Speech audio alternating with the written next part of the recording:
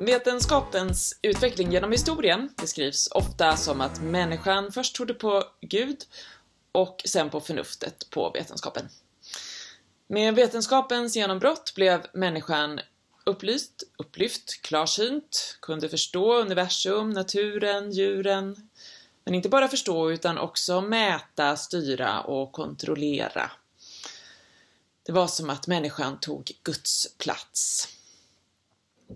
Men är det verkligen rimligt att beskriva det så, undrar matematikern och filosofen Alfred North Whitehead.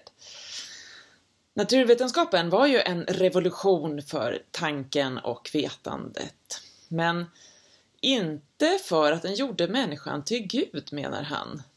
Till den som besitter den högsta sanningen, den upplyfta positionen.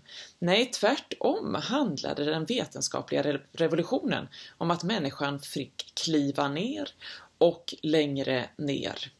För plötsligt var det inte abstrakta idéer eller tvärsäker dogmatik som var den högsta auktoriteten. Nej, de nya auktoriteterna det var små konkreta konstiga grejer som små vattendjur som kunde förvandla sig eh, och både byta kön och identitet under sin livstid. Maskar, skalbaggar, själva jorden, vattnet, hur det rörde sig och varför.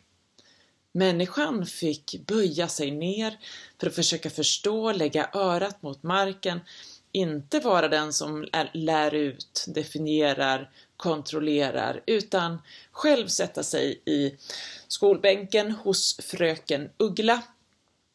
Det var inte människan som tog Guds plats med den vetenskapliga revolutionen menar Whitehead alltså, utan djuren och naturen.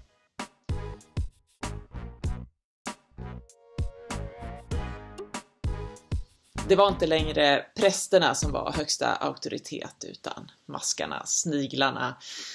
Nu var det de som kunde lära oss någonting om livets mysterier och kanske även något om de gudomliga mysterierna. Jag har läst Carl von Linnés brev om hur eh, professorerna i Uppsala bara skrattar åt honom när han kommer med sina jordiga naglar och sitt långa skägg efter att han har studerat växter i Lappland. Där har han blivit så inspirerad och imponerad av samernas sätt att vara i naturen. Inte bara som besökare utan som självklara delar av den, som växter. Så Linné han klär själv ut sig till same när han ska föreläsa. Han står där och jojkar på universitetet. Och inte kan en sån ha någonting att säga om sanningen med ett stort S, tycker då de höga professorerna i Uppsala.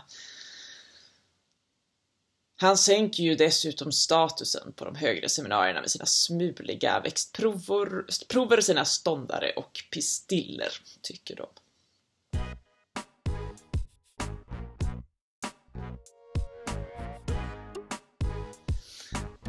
Isaac Newtons pappa kunde inte skriva. Han skrev under sonens födelseattest med ett kryss. Isak skulle ta över gården var det tänkt, men han var inte så bra på sådana saker. Pappan dog när Isak var tre. Mamman såg till att han fick åka till Cambridge och läsa. Men i Cambridge på 1600-talet fanns det inte så mycket böcker och definitivt ingenting om de nya teorier kring universum och mekaniken som Isak hade hört skulle finnas. Dessutom kom pesten så alla studenter fick åka hem och isolera sig. Men eftersom det inte fanns så mycket att läsa i Cambridge ändå så gjorde det inte så mycket för det var då, när han var hemskickad och satt isolerad eh, i eh, sitt rum i den lilla byn Woolsthorpe.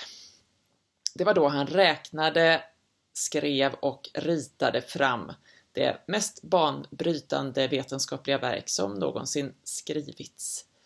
I alla fall la han grunderna där och då.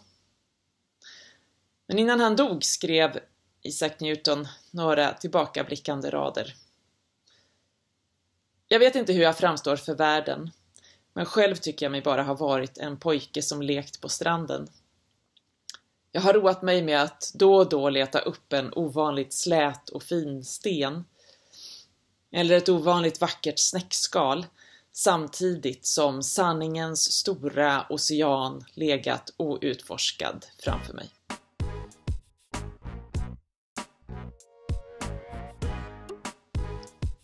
Isaac Newton han framstår som en slags andlig förebild för mig.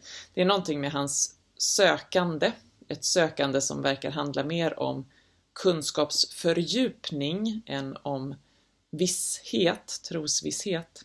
Målet är inte att slå fast sanningar, utan att se mer. Inte att hitta sanningens gräns för att befästa den, att en gång för alla kunna säga så här är det. Utan att befinna sig vid gränsen för att alltid få blicka ut över den ocean som ligger bortom.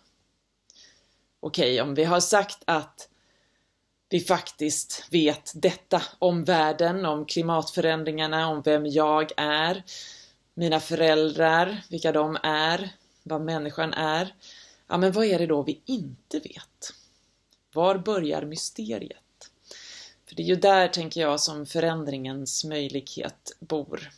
I mysteriet bortom kunskapens gräns.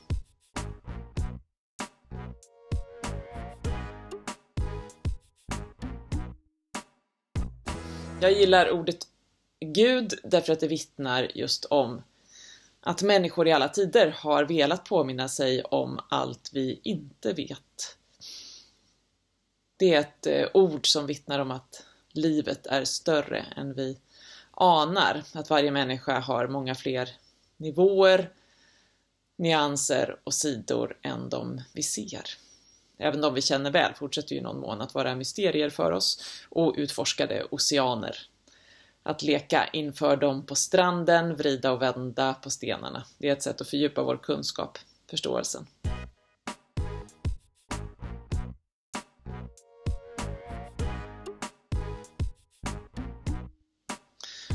Ordet Gud är för mig det ord som säkrar vår okunskap om hur världen ytterst är beskaffad.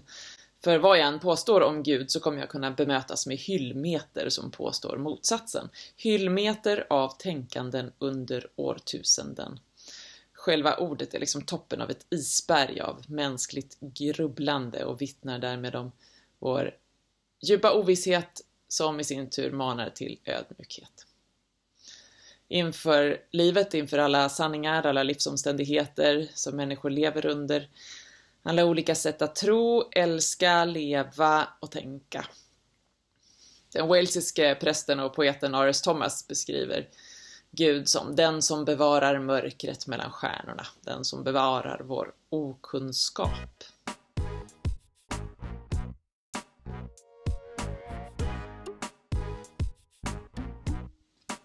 Det är lite som i en oljemålning med sådana där auktoriteter i våra liv och i våra samhällen.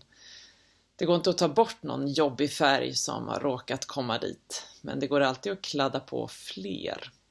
Jag tror att det gäller för alla gudar, alla jobbiga fäder. Jag kan inte ta bort det grå, men jag kan plussa på med både gult och rosa och silverglitter.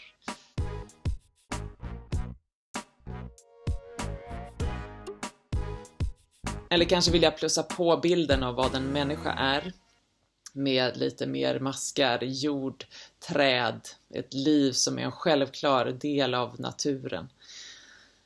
Kanske vill vi ikläda oss ett nytt jag, kanske testa en skev sameidentitet, samekläder och en jojk ihop med klackskorna från 1700-talet.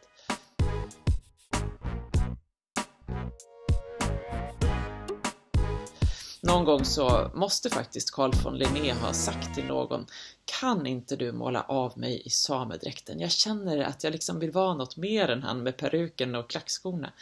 Jag känner att jag är same. Jag är ett med växterna och marken. Jag vill bli same.